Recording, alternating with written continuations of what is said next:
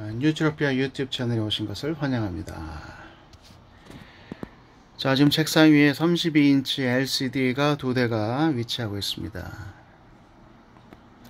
어, 좌측에 보이는 것은 크로스오버의 3232U 모델이죠. 예, 사진 작업을 하시는 분들에게는 아주 정평이 나 있는 어, 이그조 반, 예, 방식의 패널이 들어가 있다고 하는 어, 3232U 모델입니다.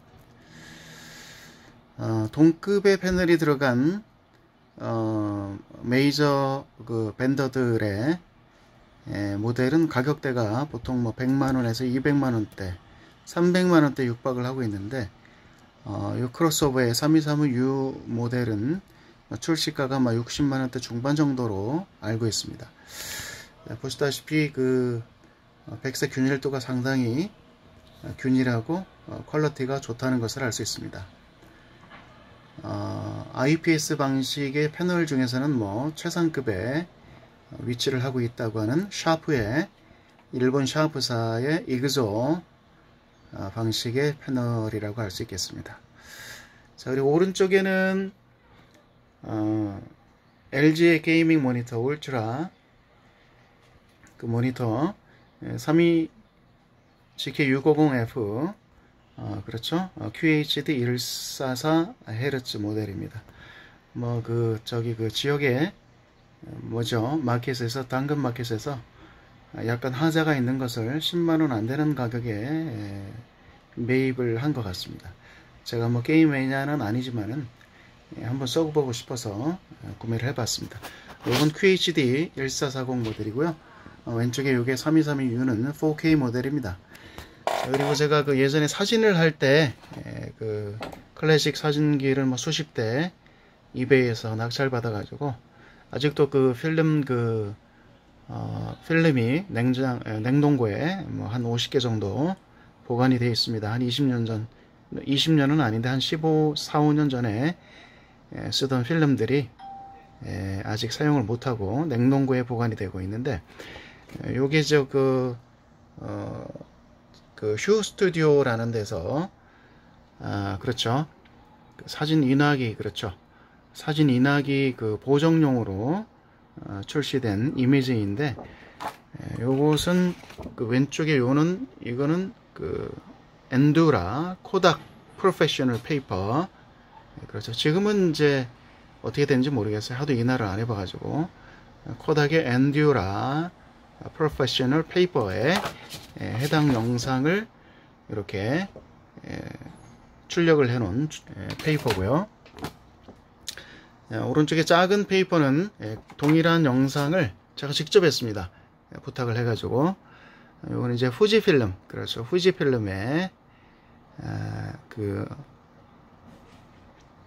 그 출력기를 통해 가지고 사진 출력기를 통해 가지고 사진관에서 어, 동일한 영상을 출력을 해 놓은 상태입니다 자 그래서 어, 약간 차이가 있죠? 아무래도 색감 쪽에서는 조금 그 깊은 색감이라고나 할까요? 짙은 색감. 왼쪽에 같은 이미지를 가지고 출력을 했음에도 어, 왼쪽에 그 그렇죠 요거.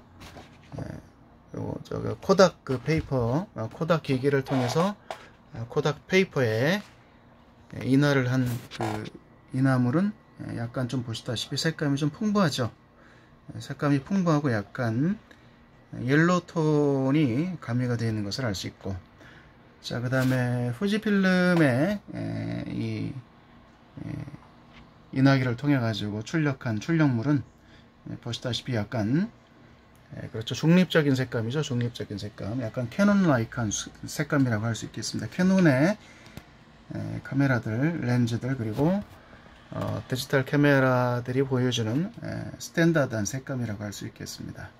약간 물 빠진 색감 같기도 하지만 어떻게 보면 에, 굉장히 좀 그 자연스러운 그렇죠? 에, 그런 색감이죠.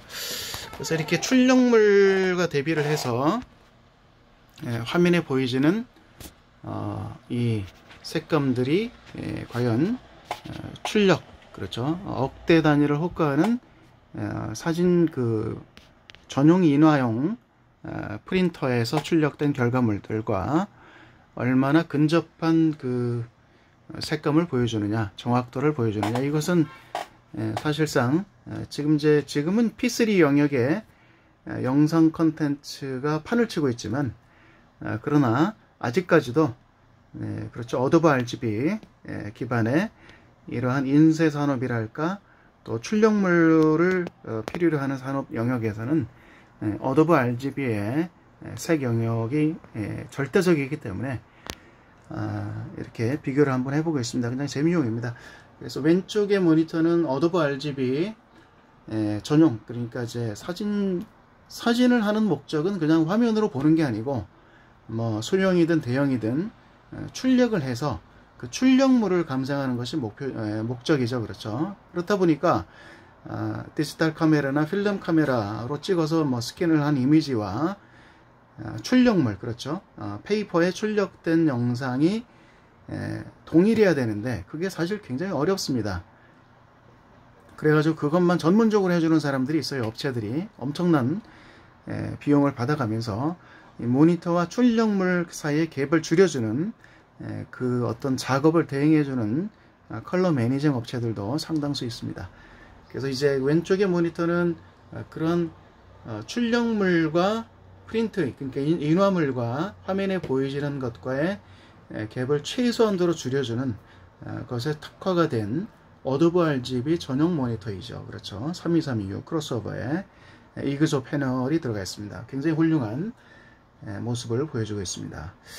그 코닥보다는 이쪽에 그 후지 출력기와 상당히 이미지가 굉장히 색감이 좀 이렇게 예, 뭐 매치가 되나요? 잘 모르겠습니다. 뭐 100% 매치는 아닌데 뭐 이 정도면 굉장히 훌륭한 게 아닌가 생각이 되고 자 오른쪽에 그 VA 패널이 들어가 있는 그렇죠 VA 패널이죠 32GK 650F 모델은 일반적으로 gaming 모니터로 알려져 있는데 예, gaming 모니터는 이제 이런 사진, 사진 작업이라든가 출력 그 인, 이, 예, 인쇄물 보정을 하는 데는 뭐 그렇게 특화가 되어 있는 모니터는 아닌데 어, 얘도 어, 보시다시피 뭐 그런 대로 상당히 좋은 결과물을 보여주는 것 같, 습니다 VA 모니터. 그래서 뭐 출력물과 조금 차이는 있습니다만 완벽하게 매치를 이루는 에, 어떤 그림 그런 그림을 에, 기대하기는 어렵습니다만은 자 그러나 상당히 출력물과 최종 그 인화물과 상당히 유사한 결과물을 보여주는 것 같습니다. 자, 그래서 약간의 그 모니터의 성격이 다르긴 합니다만은 자, 밑에 그 그라데이션 영역을 봤을 적에는 그라데이션 영역이죠. 회색 쪽 그라데이션 영역을 봤을 적에는 아, 역시나 Adobe RGB 전용 모니터가 아, 그렇죠. 굉장히 왼쪽의 모니터가 아, 훌륭한 특성을 보여준다는 것을 볼 수 있습니다. 예, 반면에 오른쪽 그 VA 패널 같은 경우에는 약간 어, 조금 느낌이 다르죠. 출력물과 비교를 해봤을 적에 이 회색 쪽 그라데이션 영역이 약간 좀 어, 출력물과는 괴리가 있다는 것을 알수 있게 예, 있겠습니다. 자 이렇게 해서 오늘은 에, 어, 갑자기 에, 그 인화물 이렇게 샘플 인화물이 눈에 띄어 가지고 어, 제가 사용하는 메인 모니터 두 대를 LCD 모니터를 어, 이렇게 출력물과 비교를 해서 영상을 한번 찍어 봤습니다. 자 왼쪽의 모니터는 뭐 그 캐런 마켓에서 어, 20만원대 중반에 중고로 구했고요. 오른쪽에 32 GK60FE 같은 경우는 약간 결, 결점이 있는 모니터인데 저렴하게 얘도 한번 구매를 해봤습니다. 감사합니다